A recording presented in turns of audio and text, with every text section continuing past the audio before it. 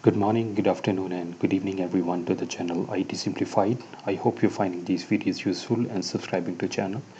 In today's session, I'm here to talk about uh, NetBackup version 8.2 and Azure Blob Storage and how they complement each other. Before I do that, uh, just an idea about the environment. I have an on-prem server with the name ITSNBU. It is acting as a master and media server, and it is attached to a DAS or directly attached storage. And on the Azure side, I have a storage account. It's a blob storage account with the name ITS Cloud Storage Offline. And in that, I have a couple of containers. I have container one, container two, container three. Now the question arises why you want to have this kind of uh, architecture.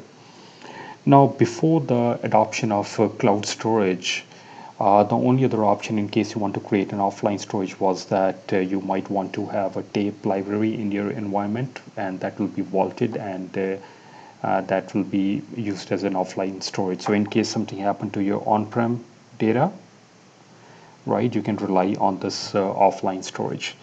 And uh, because cloud storage gives you this ability of elasticity and scalability, this option I think makes sense because NetBackup being one of the top uh, or the topmost uh, uh, solution from the enterprise perspective to protect your environment, it makes sense to give customers an option to integrate maybe with the cloud storage. And we'll see in the steps that I'm going to show you. So that's one reason. Another uh, important scenario that I see is that uh, in the last couple of years, there's been a lot of uh, uh, uh, uh, ransomware attacks on customers. So that's why we always say that we should always have a three to one topology, which includes three copies of data on two different media with one copy offsite. And one copy we are talking about is in the cloud in this case. So you can have on two different media. And uh, in case you know that uh, ransomware uh, people they're able to get into your domain or you can access and can breach the security you still have that one copy and then you'll be able to restore from that. So uh, most of the customers they create a copy and then they create a duplicate in the cloud and that is what we will see the steps involved how to integrate to both NetBackup as well as uh, Azure Blob storage. But that's what uh, customers they are looking forward to in terms of solution. So let me show you on the Azure side, I've already created a storage with the name ITS Cloud Storage Offline. And in this, I have a couple of containers. I have container 1, 2, and 3. We will be using at least uh, uh, one or a couple of them in our demonstration.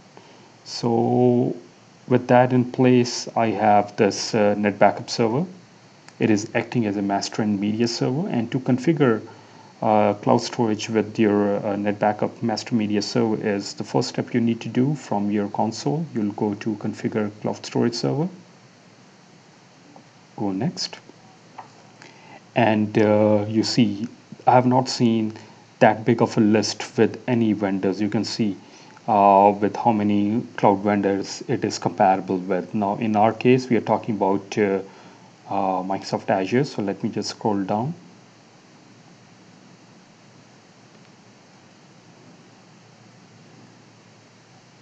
highlight it go to next. And the service host is blob core so you can leave that to the default. Storage server name I will leave that to the default too. This is my uh, master media server. If you have multiple media server in the environment you can specify which one you want to use with the cloud storage. And then it is asking you to use the storage account. By the way if you have cloud catalyst already there which is another robust solution in case we're talking about terabytes and petabytes of data to move from on-prem to the cloud. That's I think it's an it's a neat solution which I'm not going to get into right now, but uh, something to consider. So it is asking for the storage account and the access key, which we'll get from the Azure side. So let me flip over. And the settings, if I go to access key, this is the storage account name I need to get. And put that information here. And the access key I can use any of the key. You can use either key 1 and key 2 uh, it generates for you two keys or I can use either of them. So let me go and uh, put that information here. Go to next.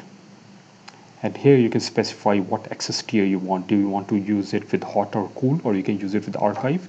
NetBackup is compatible with all the access tiers so I'll leave that to the default and here you can specify that you want to compress the data or you want to encrypt the data or not. Uh, something important to keep in mind uh, in case you don't specify a way there is no way that you can come back and uh, specify compression or encryption. But to keep this uh, demo simple I will just uh, specify compress because if you want to encrypt it we open an, another wizard uh, for KMS or key management services which is actually part of the NetBackup and you don't need any specific uh, licensing for that. So you get the uh, brief summary of the selection the storage server name media server name of the storage account compression is enabled. We have not encrypt uh, enabled the encryption so that's why it's saying no.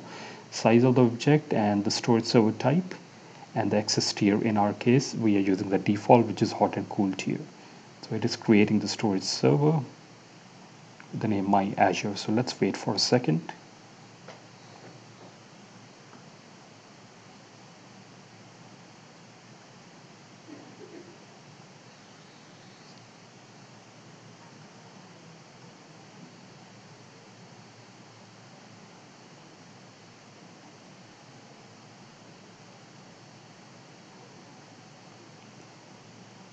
Go to next at this stage it is asked me to close the wizard and create the disk pool. So which I'll go and click on next. It automatically opens a disk pool.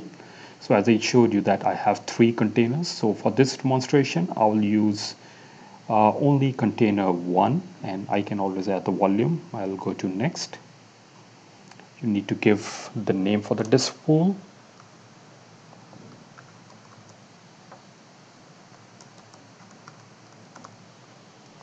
and you can limit the IO streams. Again I'll take all these default go to next and it is creating the network backup disk pool. It says it was created and the third step is to create the storage unit which is automatically check marked and it is asking me for the name for the storage unit. So I'll name it cloud offline storage